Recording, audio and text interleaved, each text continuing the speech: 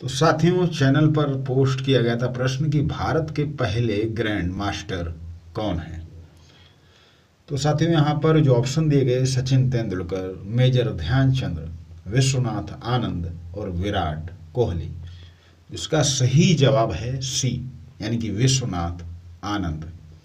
साथियों, grand master की जो उपाधि है, वो शतरंज के क्षेत्र में दी जाती है। और शतरंज में बड़ा नाम है विश्वनाथ आनंद का। आज हम जानेंगे कि भारत के सबसे पहले शतरंज ग्रैंड मास्टर विश्वनाथ आनंद वर्ष उन्नीस सौ अट्ठासी। और पहली महिला शतरंज grand master S Vijay Lakshmi जो चेन्नई से है।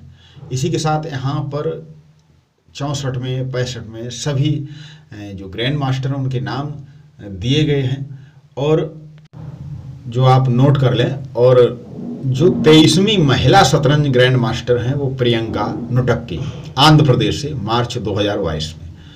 तो साथियों, इसी तरह के परीक्षा की दृष्टि से जो अति महत्वपूर्ण प्रश्न हैं, उनको देखने के लिए चैनल को सब्सक्राइब करें और घंटी का बटन ज़रूर दबाएँ।